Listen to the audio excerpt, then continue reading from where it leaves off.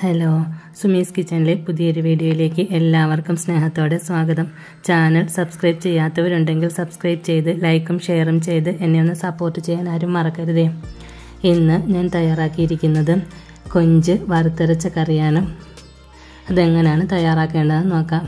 അഞ്ഞൂറ് ഗ്രാം കൊഞ്ചാണ് എടുത്തിരിക്കുന്നത്. അതിനു വേണ്ടി ആവശ്യമായവ അരമുറി തേങ്ങ ചെറിയൊരു കഷ്ണം ഇഞ്ചി അഞ്ചാറല്ലി വെളുത്തുള്ളി അഞ്ചാറ് ചെറിയ ഉള്ളി. ഇത്രയും എടുത്തും അടുപ്പിൽ വെച്ച് മീഡിയം ഫ്ലെയിമിൽ വെച്ച് അതിനെ നന്നായി വറുത്തെടുക്കണം. നോൺ സ്റ്റിക്ക് പാനല്ല വെച്ച് കൊടുക്കുന്നതെങ്കിൽ അതിൽ ഈ തേങ്ങ വറുക്കാൻ വെക്കുന്ന സമയത്ത് തന്നെ അര സ്പൂൺ വെളിച്ചെണ്ണ കൂടി ചേർക്കുമ്പോൾ അടി പിടിക്കാതെ നമുക്കതിനെ നല്ലതുപോലെ വറുത്തെടുക്കാൻ കഴിയും. നല്ല ബ്രൗൺ കളർ ആകുന്നത് വരെ ഈ തേങ്ങ നല്ലതുപോലെ വറുത്തെടുക്കണം.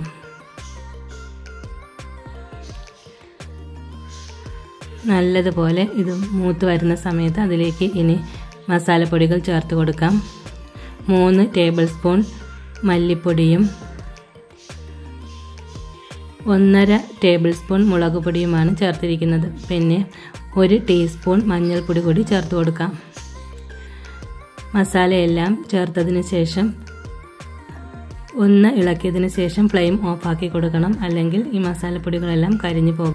എന്നിട്ട് അതിനെ തണുക്കാൻ വേണ്ടി മാറ്റി വയ്ക്കാം ആ സമയത്ത് കൊഞ്ച് വൃത്തിയാക്കിയെടുക്കാം ഇതുപോലെ മൂന്ന് പാത്രം എടുത്താൽ കുറച്ച് സമയം കൊണ്ട് കൊഞ്ച് വൃത്തിയാക്കിയെടുക്കാൻ പറ്റും.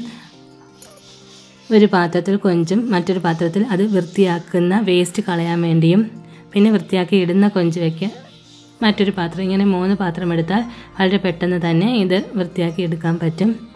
കൊഞ്ചിന്റെ തോടെല്ലാം കളഞ്ഞതിന് ശേഷം അതിന്റെ നടുവേ ഇങ്ങനെ കീറി കൊടുക്കാം. എന്നിട്ട് അതിന്റെ ഉള്ളിലുള്ള അഴുക്കെല്ലാം മാറ്റി അതിനെ മറ്റൊരു പാത്രത്തിലേക്ക് മാറ്റി കൊടുക്കാം. ഇതുപോലെ ചെയ്താൽ വളരെ സ്പീഡിന് തന്നെ നമുക്ക് വൃത്തിയാക്കി എടുക്കാൻ പറ്റും.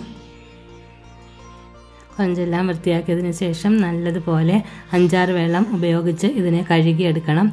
എന്നിട്ട് ഇതിന്റെ വെള്ളം വാർന്നു പോകാൻ വേണ്ടി ഇതുപോലെ ഒരു അരിപ്പയിലേക്ക് മാറ്റി കൊടുക്കാം ഈ സമയം കൊണ്ട് വറുത്തെടുത്ത തേങ്ങ നല്ലതുപോലെ തണുത്തിട്ടുണ്ട്.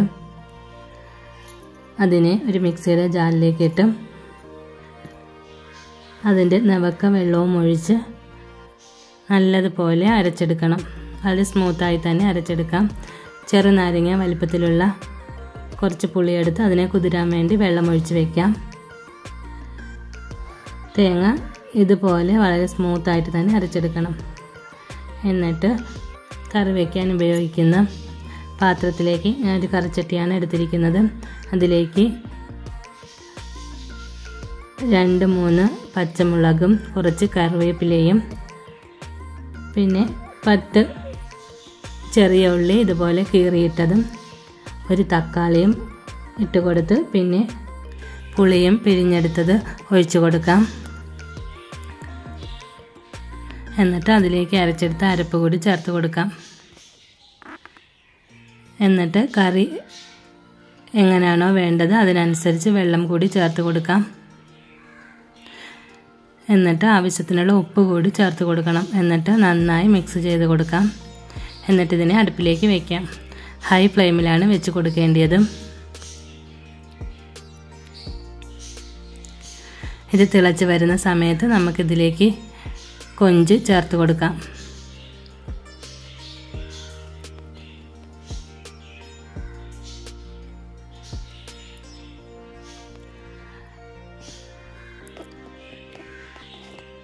കൊഞ്ചിട്ട് കൊടുത്തും അതിനെ ഹൈ ഫ്ലെയിമിൽ തന്നെയാണ് വെക്കേണ്ടത് ഇനി അതിനെ അടച്ചു കൊടുക്കാം.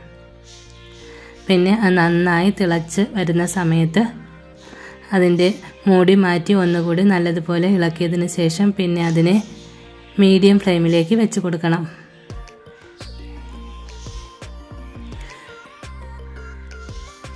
വീണ്ടും അതിനെ ഒന്നുകൂടി തുറന്നു നോക്കി. ഇതുപോലെ മൊത്തമായി അടച്ചു കൊടുക്കാതെ കുറച്ച് തുറന്നു വെച്ച് പിന്നെ അതിനെ ലോ ഫ്ലെയിമിലിട്ട് നെയ്യ് തെളിയുന്നത് വരെ ഇതിനെ വേവിച്ചെടുക്കണം. വളരെ ടേസ്റ്റിയാണ് ഇതുപോലെ കറി വെച്ചാൽ എല്ലാവരും ഇതുപോലെ ഒന്ന് തയ്യാറാക്കി നോക്കണേ. Okay thank